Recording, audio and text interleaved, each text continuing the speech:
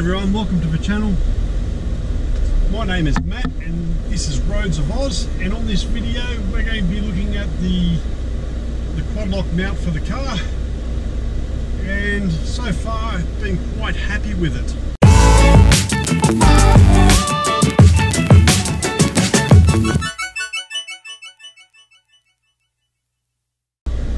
So when I first mounted it, I took it out of the box and in my haste put it on mounted the phone onto it and ten, about 10 minutes later it fell off and I thought oh here we go.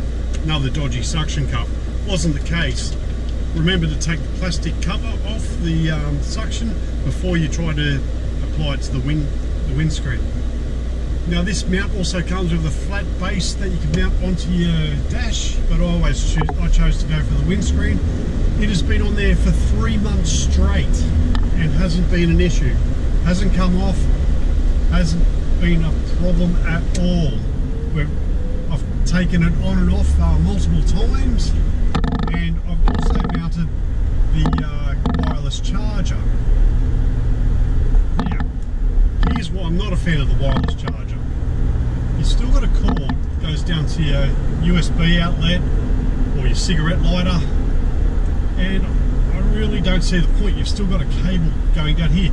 If you had it had this cable wide, like if you had this mount somewhere else and you hid the cable out of sight and had it uh, hardwired or another USB point where it was out of the way, yeah, I could understand it would be a, it'd be a lot neater. So that's probably something I'll look at doing down in the future is getting a auto electrician to run a um, to run a circuit for it and hide it down the back there or hide it behind the dust somehow it would be useful if you um, if you're in and out of the car a lot. So if you're a courier that uses their phone as a to record deliveries, which means you're in and out of the car a lot, or you're a sales rep and you're in and out of the car a lot, I can see where the wireless charger makes sense. But in all honesty, I'd just get the USB cable or, or the phone charging cable and plug it into the uh, USB in the cigarette lighter. Realistically, um, I don't I don't see it being worse off. Um, for what you're paying for it, I just don't see any added value if you're just going to plug this straight into the USB outlet. But everyone's got their own opinion, that's just mine. Other than that, I'm very happy with it. It's easy to take on and off, which I will demonstrate once I stop, because if I do while driving, I can be booked. So this mounting kit is much easier than the ones on the motorcycle. It's just a case of twisting it and it comes off and same as mounting it. It's quite it's quite easy to put straight back on. And I find this a lot easier than the motorbike system. Understandably though the motorcycle system you want a little more secure than this type of setup. For the simple fact if it falls off here it's going to fall on the car on a motorcycle. It could be falling onto the road at 60 kilometers an hour plus.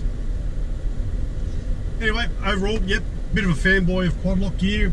You get what you pay for and it is very good quality and would I recommend it to everyone? Yeah, the mounting bracket, yep. The wireless charger, well, depends on what sort of use you're having, what you're using your car for. If you're just driving to and from work, no, I don't see any value to it. But if you're going to spend the extra and have the wiring hidden, yep, I can see the point of it. One of the issues I did have was um, I plugged this into my uh, USB to cigarette, uh, or 12 volt to USB converter and it didn't work properly. I tested it on an actual charger.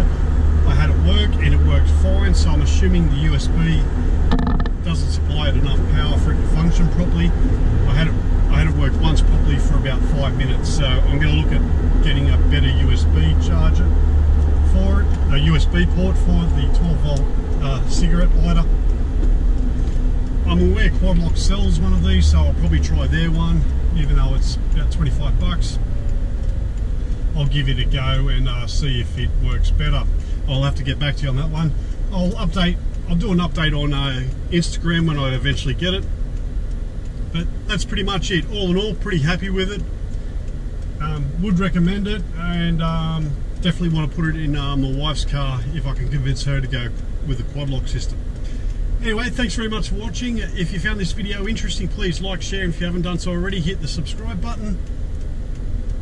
And I'll see you on the next vid.